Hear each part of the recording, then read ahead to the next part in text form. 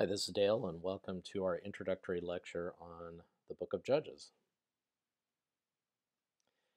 So, the first thing we need to talk a bit about is what this course is about, and that should be pretty easy.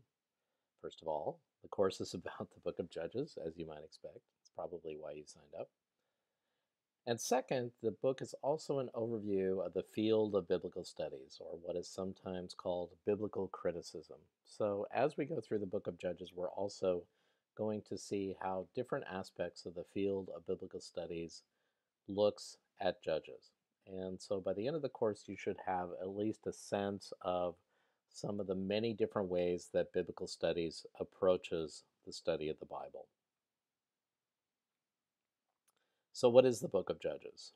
Well, first, and maybe even foremost, it's part of a grouping of books called the Former Prophets. And I'm not sure if you've ever heard this term before, but sometimes uh, the parts of the Old Testament after the Torah are referred to as the former prophets, and then we have what are called the latter prophets, what you would normally think of like um, Hosea and Micah and Amos and so forth. Uh, but the book of Judges is part of the former prophets, so the earlier prophets, the prophets that come earlier in the book. So then we have to ask ourselves, well, how is Judges prophecy? And we may even have to further ask ourselves, well, what do we think of when we think of prophecy? Typically, we think of prophecy as something that is looking towards the future or telling the future or uh, warning us about what the future holds if we um, or the reader doesn't correct their ways. But prophecy is also about criticism in some way. So if you look at some of the latter prophets, they talk about all of the things that Israel is doing wrong and needs to correct. So, based on this category, we have to think about how Judges works as criticism. So, Judges is part of a body of literature that is critical of the Israelites, that criticizes them for the things they're doing wrong.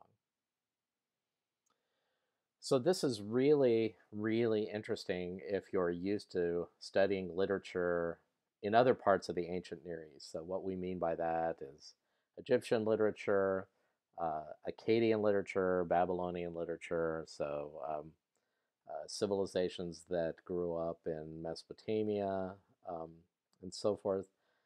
Typically, their writings, at least the writings that we have, are devoted solely to extolling the greatness of their particular country or empire. So they talk about how great their kings were, how many people they killed in battle. Everything was just wonderful. And uh, sort of each king gets its own uh, liturgy of self praise. The, the Old Testament, the Hebrew Bible, is completely different from that. So it is largely literature um, that, yes, conveys the story of Israel, but also criticizes Israel. So I can't really think even of any large body of literature of any other civilization uh, that was contemporary to the Israelites where they go on and on about how bad they were. So um, that is something to keep in mind when you're reading Judges. So if we read of a specific act or deed in Judges, we can't necessarily assume that the author approves of what's happening. In fact, it probably, or at least possibly, could just be the opposite.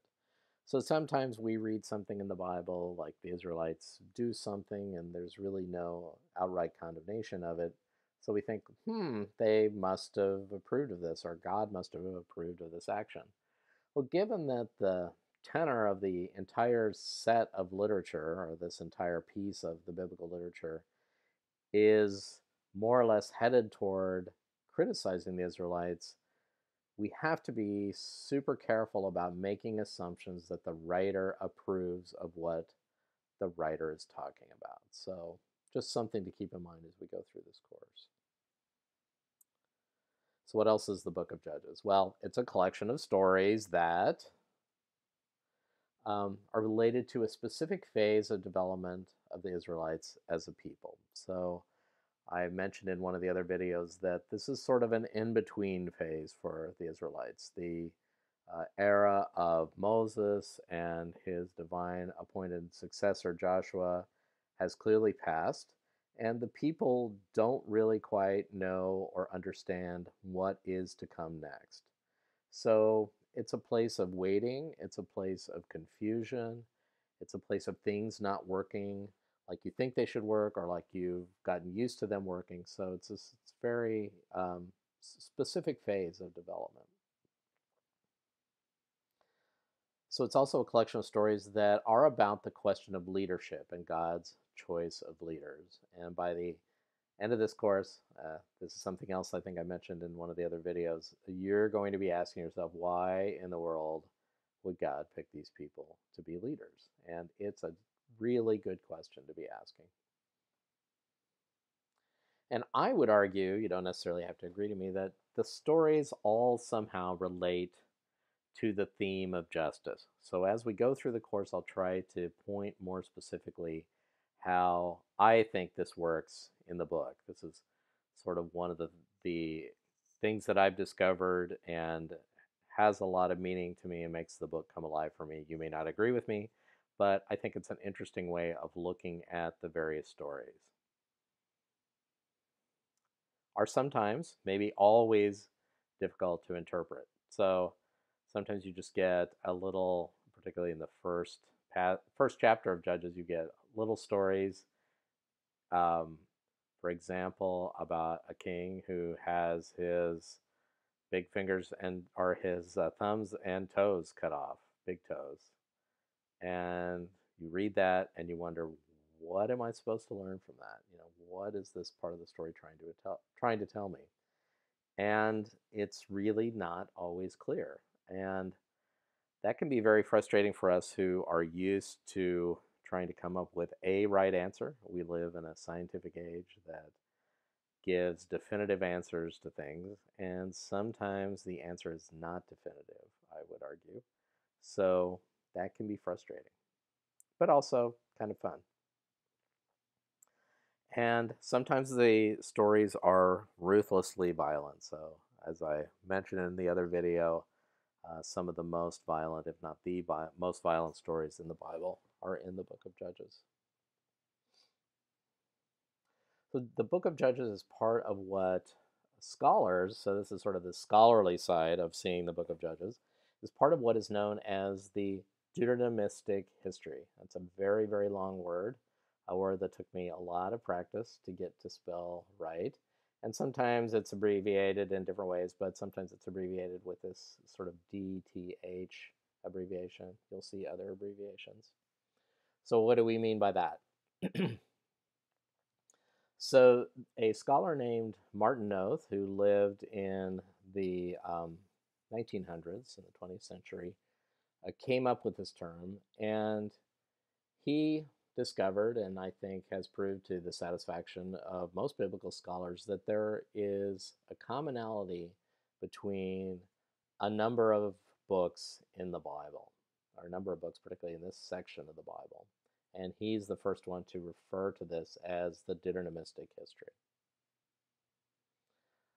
Uh, in the kind of later 20th century, Frank Moore Cross came up with some more um, sophisticated theories about how these books were put together, sort of how they were edited. Um, so, if you're familiar with the books of Kings, and you go sort of towards the end of the books of Kings, um, you can sort of see that there was a particular ending for the book, or what looks like a, an ending of the book around the reign of Josiah.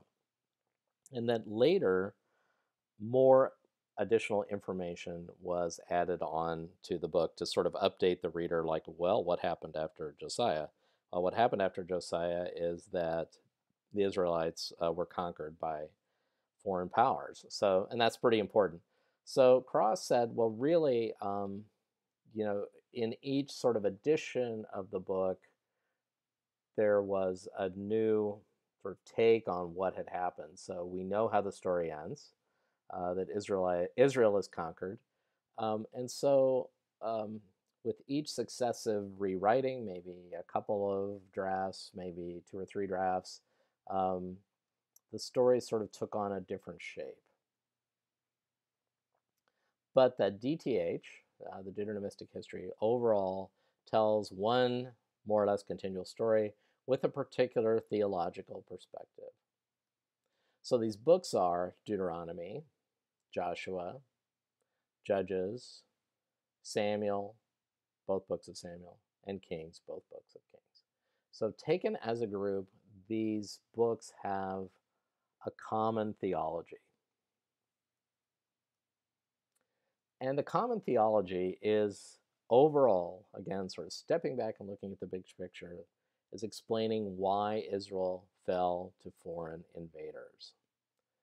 And the answer that um, the Bible gives us is that Israel's fell to foreign invaders because, um, you know, they were not faithful to Yahweh, first of all, but they had really bad leaders. So if you read the books of Kings, there are not very many good kings in uh, in the books of Kings, and even Solomon uh, worshipped foreign gods. You know, we kind of think of him as the founder of the temple, should be a good guy, but the books are very, very critical. So uh, we should kind of keep that end in mind when we're reading specific parts of Judges.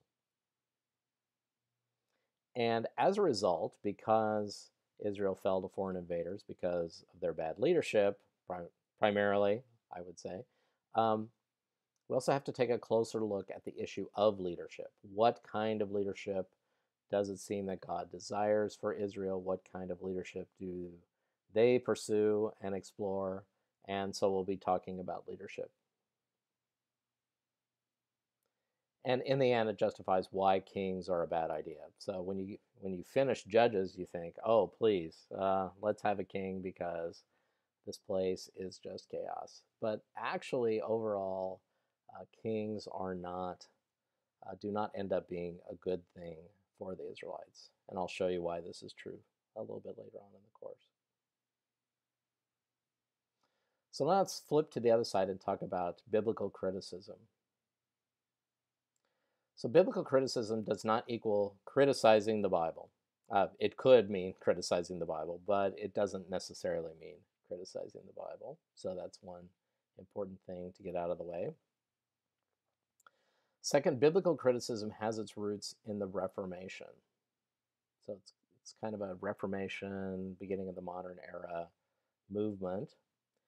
And the first point is to return to a non allegorical, plain reading of the Bible.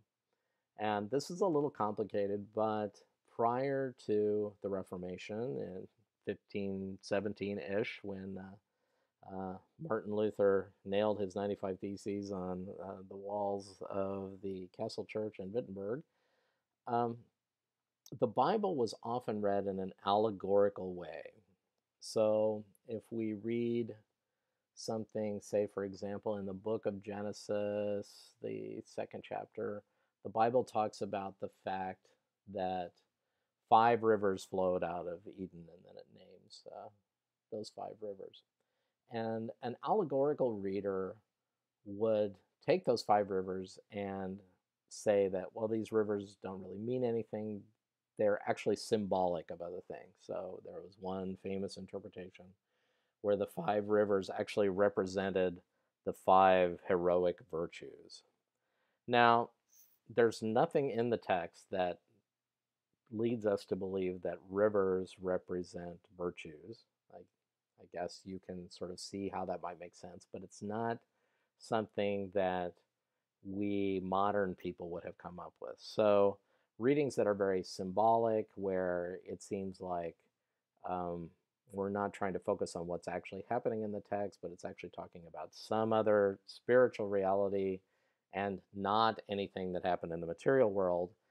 Um, those things became sort of collapsed with the Reformation because people um, started reading their own Bibles for themselves, and they realized that oftentimes allegorical interpretations um, were just something somebody made up. And yeah, it might sound good, but there's really no basis for them. Along with that, the Bible was translated into the vernacular languages. So um, people didn't need to rely as, nearly as much on theologians for their biblical interpretation. They could read the Bible themselves, at least if they knew how to read.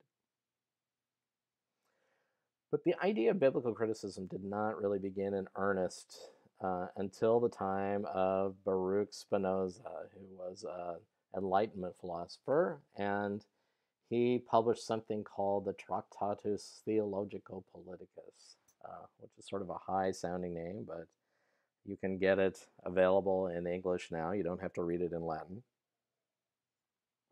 And this was published in 1677. And what Spinoza said is that theologians use the Bible not, they don't take the Bible on its own terms, but rather they have a set of uh, assertions or a set of doctrines or something that they want to prove, and they kind of flip through the Bible and they look for proof text to support their ideas. So Spinoza says, really, we're going about this all wrong. We need to actually focus on the ideas that are actually in the Bible and then see if what we believe really does flow from the Bible. So he's kind of criticizing uh, popular theologians of his time. He lived in Amsterdam. He was a excommunicated Jew, so he really had nothing to lose in terms of uh, kind of criticizing the way people approach the Bible. And uh, what Spinoza did, and um, this gains a lot of momentum in the, in the 19th century, is he focused a lot on asking questions like, who wrote the Bible? So up until this time, people uh, didn't really question who wrote the Bible, or they, they said, well, Moses wrote uh, the first five books, and then, I don't know, maybe Samuel wrote part of Samuel, even though Samuel dies in the middle of Samuel, and I, people didn't focus on that. But Spinoza started asking these questions, and people um, worked on those questions, but they also worked on the question of what was going on historically at the time the Bible is written. So, kind of the Bible in its historical context became a new thing. And a lot of people devoted a lot of time to this. So, it's gained a lot of momentum in the 19th century. So, we came up with the documentary hypothesis in that uh, the first five books, the documentary hypothesis is essentially that the first five books of the Bible are actually a composite work and not the work of one author. Um, things like archaeology began, so uh, a whole new uh, set of um, kind of a whole new discipline grew out of this. Sort of started off as being more or less treasure hunting, uh, kind of Indiana Jones sort of thing, and then eventually became um, serious, serious science or serious uh, serious analysis of what uh, how people lived in the biblical period. Language study increases exponentially. So one thing that Spinoza uh, pushed is that we need to learn the original languages of the Bible. And even though uh, that seems to be tapering off at the present time, uh, much to my dismay, since I spent a lot of time learning Hebrew and Greek and other languages, um, but people began to really study Hebrew. And then eventually in the 20th century, we had things like the Dead Sea Scrolls that started looking at the development of the Hebrew language. A whole new um, discipline of comparative Semitics began. And um, again, just an explosion of knowledge. And all of that movement culminates in what is now generally referred to as the historical critical method. And what the historical critical method is, is it attempts to discover um, the setting, the historical setting in which the Bible was written, and all of the questions that go along with that.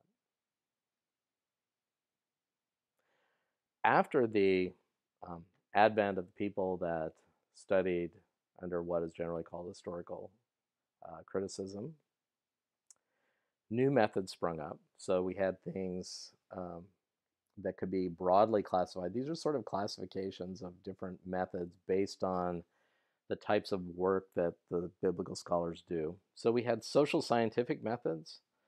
Um, these are methods that look at the culture of the ancient Israelites, their family structure, uh, how they lived, uh, the role of women, the role of children, um, how their culture might have uh, been the same or different from surrounding cultures. All of these are social scientific methods. So the social sciences are primarily uh, sociology and anthropology. So they look at uh, the nation of Israel as a sociologist or as an anthropologist would look at a group of people today. There are also literary methods. Uh, literary methods read the Bible basically uh, in the same way that you would read uh, a book or a, uh, a work of literature. So they're looking for things like, uh, you know, what what is the plot? How does this character develop? What do we know about the character? What don't we know? What what does the character say? How does the character say it? Um, how do uh, these stories relate to other stories that are like it or that are right around it? What does this tell us about how the plot is developing? So these aren't uh, methods that rely on any kind of historical context, but they're looking at um, the words on the page and trying to understand them as we would understand literature done under a very close reading. So sometimes this is called the a close reading of the Bible. So we're looking at every word, we're looking at every nuance of every word to try to figure out what is really there. You know, word, things like word choice, like why did why do we think the author chose this word and not that word? Things like that. There are also things that are generally classified under ideological criticism. So this is including feminist approaches.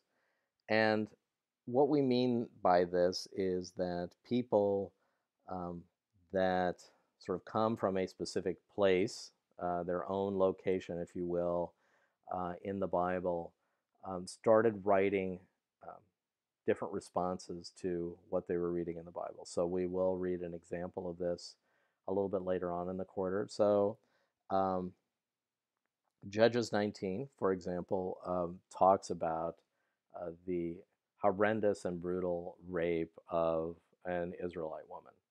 And that story, perhaps, I, I would contend, yes, um, is heard and differently by a woman than it is by a man. At least that's what ideological criticism would contend. And they would try to point out um, how a woman might read this particular text differently. That's sort of an extreme approach, but that's something that a, a feminist critic would definitely look at. Um, they would also look at how women are portrayed in the Bible, how women are seem to be in power or powerless. It could be either one. Um, and how does women's power work? Sort of issues like that. But ultimately, each method asks a different type of questions about the biblical text. And that's probably the most important thing to get out of this part of the lecture is that we we sort of look at all of the possible questions that people are asking about the Bible and trying to figure out, and we kind of tend to categorize them in uh, these general categories. So a lot of it has to do with the types of questions you're asking. Now, that doesn't mean that one scholar can't ask different types of questions, even in the same article or the same paper. Um, so sometimes you could start off a paper by doing historical critical analysis and then say, but I'm going to now look at this from a literary perspective and kind of try to see how those two things work together or maybe they don't work together.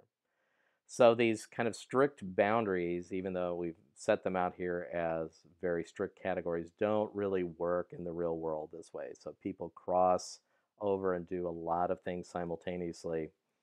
And a lot of times we don't even really notice that necessarily, but um, it's good to see how the um, how the the field of biblical studies looks at things and how they sort of divvy things up. So, as we go through the course, we'll be talking more about methods of studying the Bible. And I hope if you have questions about that, you will please, please ask. And um, some of that information will be important for you for the midterm exam. So that's your overview of what we're doing in this course. I hope you found that at least a little helpful, and we'll be talking to you soon. Take care. Again, let me know if you have any questions.